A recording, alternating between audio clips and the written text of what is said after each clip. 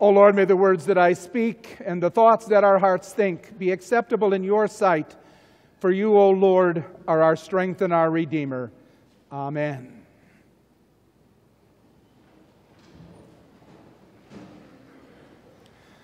Grace, mercy, and peace from God our Heavenly Father and from our Lord and Savior Jesus Christ. Amen. In his book, Luther, biography of a reformer, Frederick Nohl relates this incident from Luther's early life. 15 year old Luther left Magdeburg at the end of one year. For some unknown reason, his father, Hans Luther, had his son transfer to a school in Eisenach. Eisenach was a walled city in Thuringia, located southwest of Mansfeld the home of Luther's parents. A castle known as the Wartburg looked down on the town of more than 2,000 people. Once much used, the Wartburg was falling into ruin. Despite its condition, however, it would later become a place of refuge for Martin Luther. That time came 23 years later. Following the Diet of Worms in 1521, Luther was declared an outlaw by Charles V, Emperor of the Holy Roman Empire. This meant that anyone who wanted to hunt Luther down and kill him was free to do so. At this point, when his life was in great danger, Luther's prince, Frederick the Wise, arranged for Luther to be supposedly kidnapped and spirited away to the Wartburg. There, Luther lived and worked for 10 months, disguised as a knight and safe from his enemies. Eight years later, Luther penned a hymn, his most famous hymn, in praise of the God who can be depended upon to guard and keep his people in every trial. What could, he, what could be more natural than for Luther to compare his great God to a mighty fortress, ein feste Burg. Although Luther based his hymn primarily on Psalm 46, it also echoes the words of Proverbs chapter 18, verse 10. The Lord is a strong fortress. The godly run to him and are safe. In today's sermon, we want to see what God has to say to us in these words of His words that bring both comfort and also encouragement. The Lord is a strong fortress. The Wartburg is such a fortress.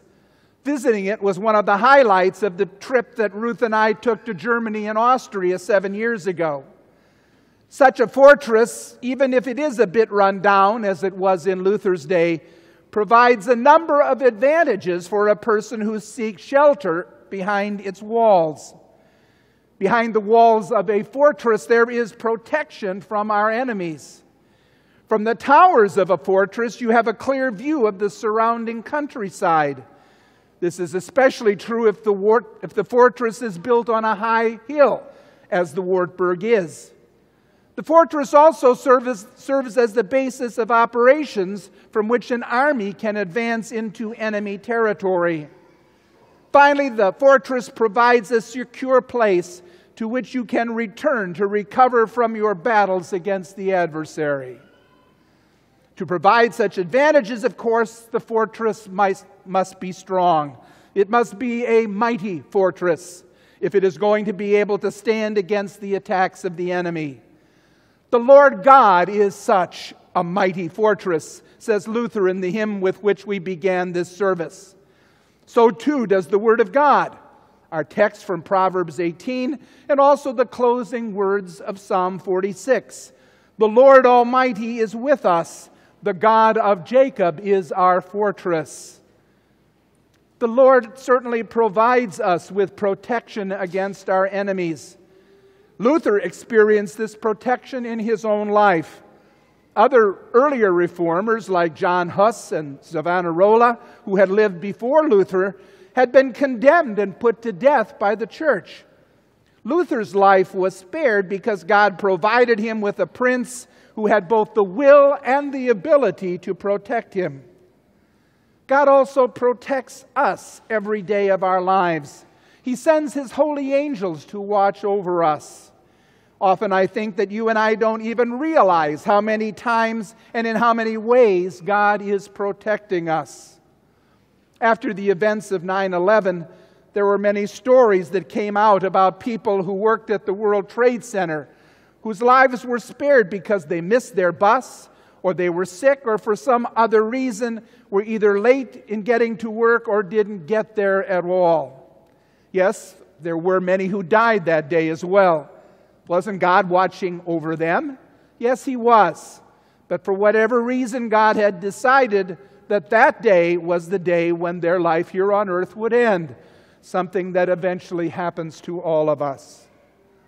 Luther's greatest enemies, however, were not physical, the Pope or the Emperor. Luther's greatest enemies were spiritual, the unholy trinity of sin, eternal death, and the devil. The old evil foe, Luther calls him in the hymn A Mighty Fortress. It was fear of eternal damnation that drove Luther to the monastery in the first place. But he found no refuge there, not within the walls of the cloister, nor in all of his struggles to be righteous before God. Luther found deliverance from his eternal enemies only when he found Christ, only when he learned from the gospel that we are saved by God's grace alone, through faith alone in Jesus Christ. Today's epistle sums that up very well. For all have sinned and fall short of the glory of God and are justified by his grace as a gift through the redemption that is in Christ Jesus. For we hold that one is justified by faith apart from the deeds of the law. God has rescued us and continues to do so through Jesus our Savior. By dying on the cross for our sin in our place, and by rising again from the dead, Jesus has earned for us what we could never earn for ourselves. He has won full and free pardon for all of our sins and complete and total deliverance from all the punishment that we, because of our sins, deserve. As Luther puts it in his own explanation to the second article of the Apostles' Creed, Jesus has redeemed me, a lost and condemned sinner, purchased and won me from all sins, from death and the power of the devil not with silver or gold, but with his holy precious blood and with his innocent suffering and death, that I may be his own and live under him in his kingdom. The Lord God, as a mighty fortress, also provides us with a vantage point from which we can view the rest of our world. You certainly get a beautiful view of the surrounding countryside from the Wartburg after you have climbed 275 steps to get up there. But today I'm not talking about a physical vantage point. I'm talking about a spiritual one, a philosophical one. There are so many philosophies present in our world today, belief systems by which people order their lives. They range anywhere from hedonism, you only go around once in life, so grab for all the gusto you can to more noble philosophies that urge us to devote our lives to serving others. In God and in His Word, we have a standard by which we can evaluate all other philosophies, by which we can judge which are good and which are not. In God and His Word, we have a perspective that helps us to understand what is going on in our world, both the good and the bad. In God and His Word, we find the truth of which Jesus speaks in today's Holy Gospel the truth that will set us free. As a mighty fortress, God also provides for us a place where we can be equipped to face the challenges of life and also to do battle against the enemies of God that want to destroy us. A good example of how God equips us for battle can be found in Ephesians chapter 6, verses 14 to 17 where the Apostle Paul says, Stand firm then, with the belt of truth buckled around your waist, with the breastplate of righteousness Christ's righteousness in place, and with your feet fitted with the readiness that comes from the gospel of peace. In addition to all of this, take up the shield of faith, which with, with which you can extinguish all the flaming arrows of the evil one. Take the helmet of salvation and the sword of the Spirit, which is the Word of God. And finally, God, who is our refuge and strength, also provides us with a safe haven to which we can return when the battles we have been fighting grow too much for us. When the enemy seems to be getting the upper hand, when we need a place to lick our wounds, so to speak, when we have fallen flat on our face, when we need someone to pick us up again, then in Jesus we can find all of that and more. In Jesus, we find the assurance that our sins, our shortcomings are forgiven. In Jesus, we find strength and encouragement so that we can continue to fight the good fight of faith. In Jesus, we have the promise that the final victory is ours victory over sin, victory over death, victory over the evil one himself. As Luther reminds us in his hymn, this world's prince may still scowl fierce as he will. He can harm us none. He's judged, the deed is done. One little word can fell him.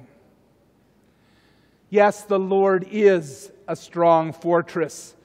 But our text also points out that if we are to be safe, we must run to Him. Just as there are many philosophies in our world today to which people cling, so too there are many different fortresses in which people put their trust. Many trust in their own abilities to do good, to please God, or to win out over the enemy. For a lot of people, their fortress is their money. They trust in their wealth to see them through any bad situation.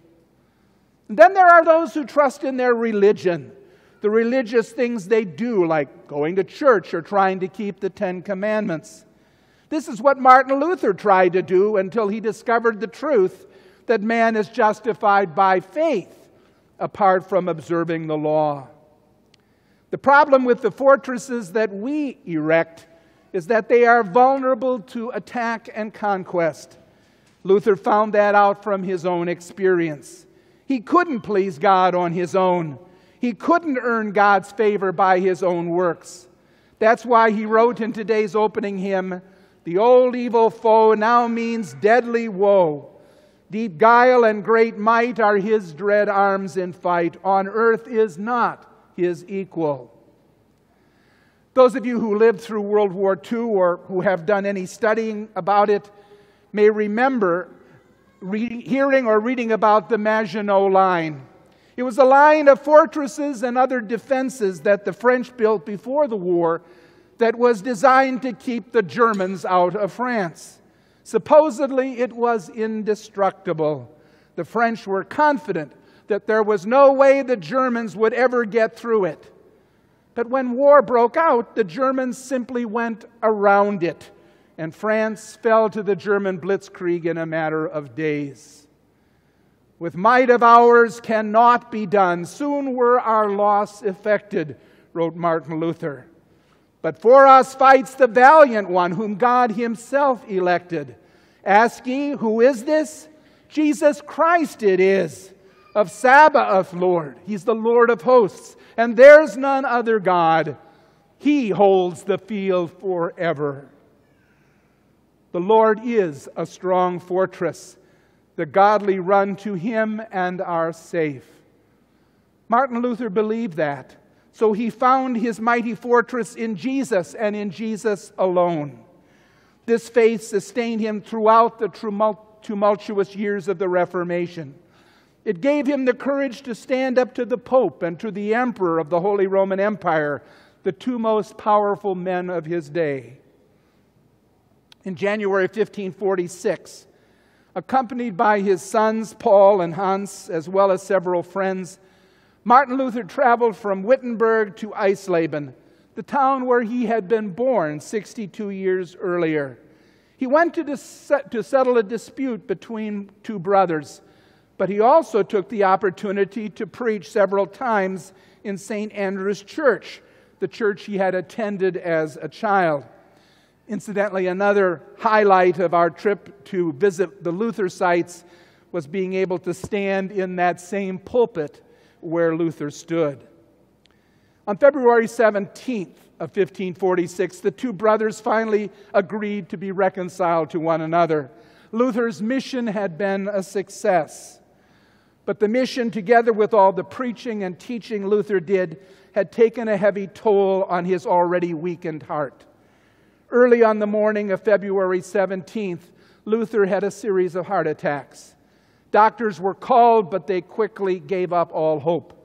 Sensing that the end was near, Luther's friend, Justus Jonas, approached the couch where Luther was lying and asked in a loud voice, Reverend Father, are you willing to die in the name of Christ and the doctrine you have preached? Yes, came the answer, loud enough for all to hear.